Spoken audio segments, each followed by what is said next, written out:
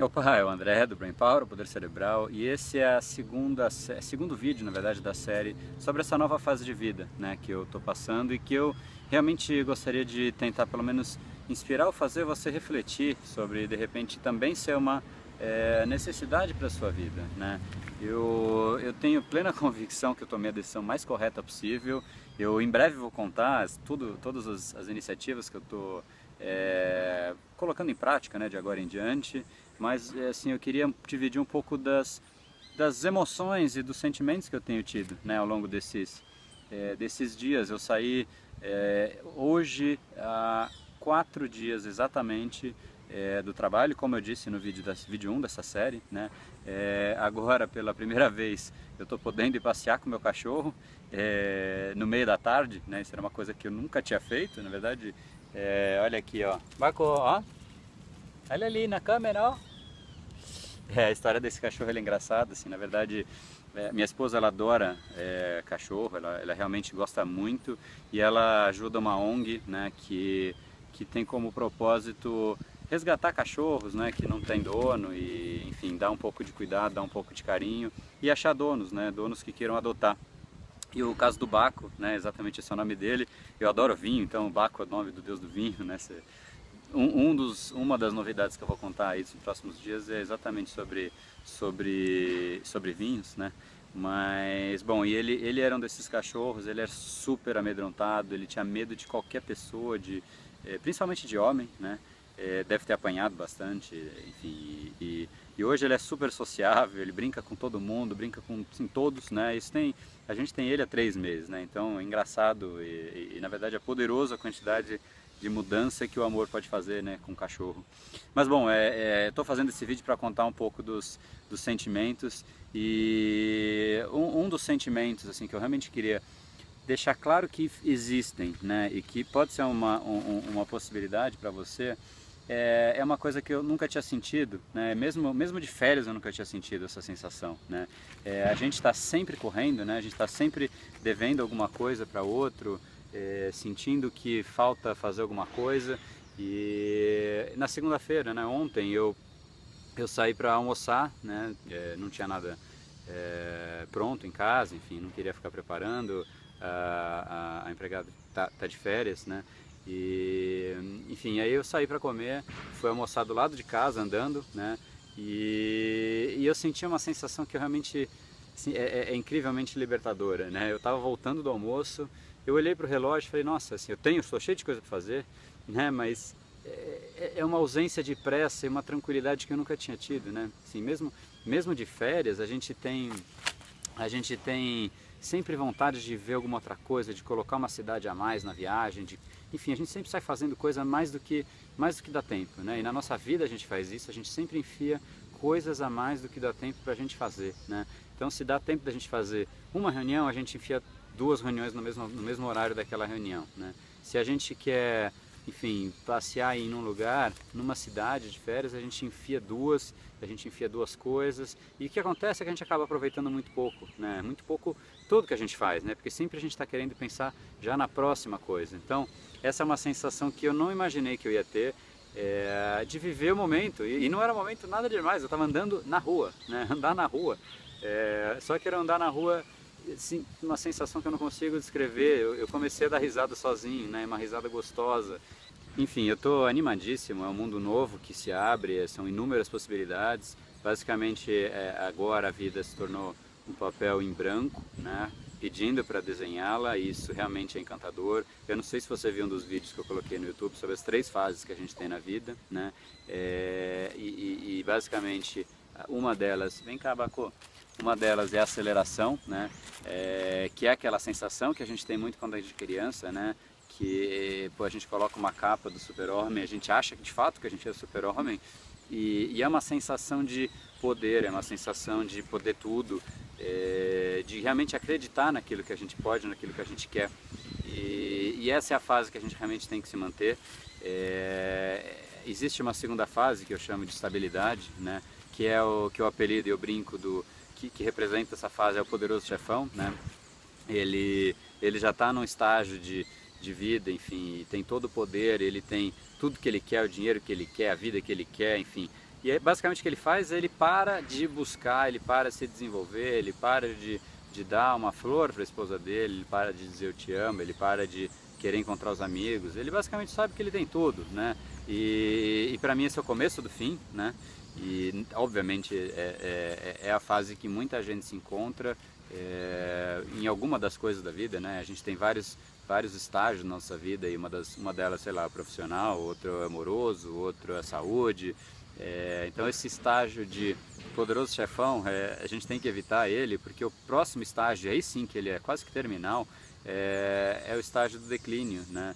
em que a gente começa a viver do passado, a gente reclama muito do presente. É, sim, é, os idosos, essa, essas três fases não tem nada a ver com idade, tá? Mas algumas, algumas coisas são muito marcantes de alguma faixa etária, né?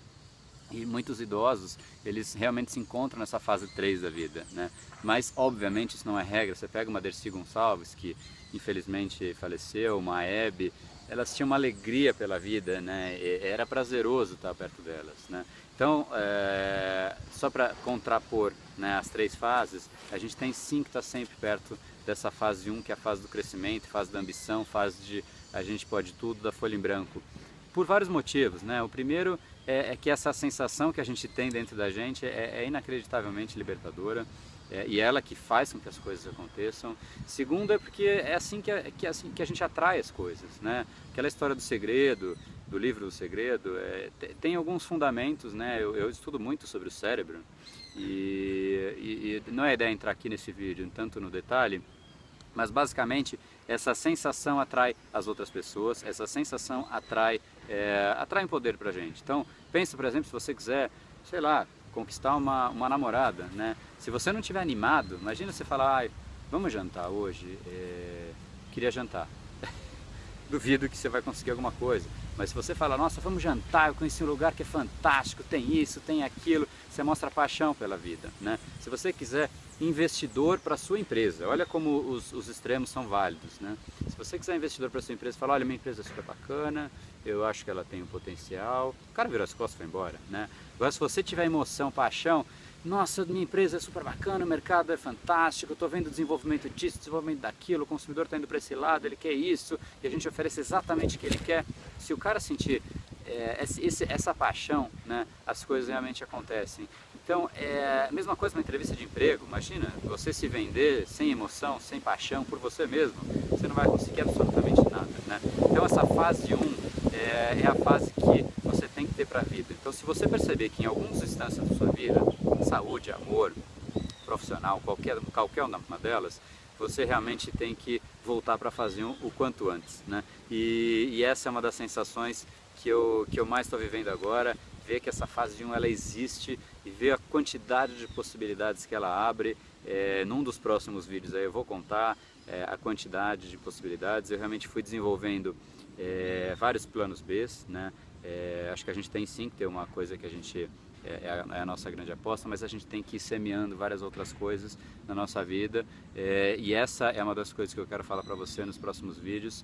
Não, não fica sempre preso em uma das coisas, em uma, uma coisa só, porque isso vai te, dar, vai te dar uma agonia, vai te dar uma frustração se essa coisa não tiver com o vigor que você quer ter outras coisas te abre um leque, te abre uma sensação que não tem preço, né? realmente não tem preço. É sobre isso que eu vou falar nos, nos próximos vídeos. É, se você quiser também ter essa, essa, essa mudança de vida que eu estou passando, é, estimulo muito, você pode me mandar um e-mail. É, foi engraçado, contei um pouco no, no vídeo 1, mas eu estava escrevendo um, um, livro sobre isso, eu ajudei muita gente a fazer isso e eu realmente achava que eu estava é, na vida que eu realmente queria para mim, eu tinha sucesso, eu tinha um salário super bacana, é, tinha carro pela empresa, enfim, tinha academia, tinha basicamente tudo, né? Que as outras pessoas achavam que era sucesso. Só que, enfim, eu olhava para mim, eu olhava para minha vida e falava, não sei se é bem isso, se é sucesso talvez para os outros e, e, e não para mim. E aí, escrevendo o meu próprio livro, é, dizem, né, falei isso até no, no vídeo 1, que, que uma obra só é boa, né, quando ela impacta o próprio autor não só ela impactou, mas como ela mudou basicamente minha vida inteira, né? E se você quiser ter acesso a esse livro, ele de fato ele tinha sido fechado a venda dele, porque era, ele é basicamente um teste é, mas eu reabri ela, né, nessa, durante essa fase que eu vou contar um pouco da transição, eu achei justo liberar o vídeo, porque eu vou falar dele constantemente, foi ele realmente que causou toda essa mudança para mim, ele, ele é um livro que fala, ele, ele te estimula a achar o seu real propósito de vida e ele dá os passos para você chegar nele, né? é, que é exatamente o que eu estou fazendo agora e se você realmente quiser pelo menos repensar, refletir sobre a sua vida, é, esse livro pode ser uma, uma coisa bacana para você, mas se não, realmente estimulo você a pensar um pouco, ver se você está no seu, no, seu, no seu ideal de vida, se você está feliz com a vida que você tem hoje, ou se você deveria começar a semear é, novos planos e, e, e, eventualmente o plano B, que eu vou falar nos próximos vídeos. Bom, era isso, eu queria deixar essa reflexão para você. É, é super pouco tempo, ainda não consegui trazer todas as ideias que eu tenho, então eu quero sedimentar elas um pouco mais e aí eu vou contando é, ao longo dos vídeos. Mas basicamente, se você gostou desse, desse vídeo, deixe um comentário para mim, eu realmente queria ouvir se você acha que, enfim, eu sou louco, se você apoia a minha iniciativa, se você gostaria de fazer isso com a sua vida também, né? É, sou todo ouvidos, eu realmente gostaria de ouvir os comentários de todo mundo. É, enfim, então se você gostou, tem uma, uma caixinha aqui do YouTube nesse lado é, para você, você se inscrever. É, clica nela no ícone do Brain Power, é, que eu vou agora passar um pouquinho mais com ele aqui. Abaco, dá um oizinho lá, ó. E deixo um grande abraço para você, pense um pouco sobre sua vida e até o próximo vídeo dessa série.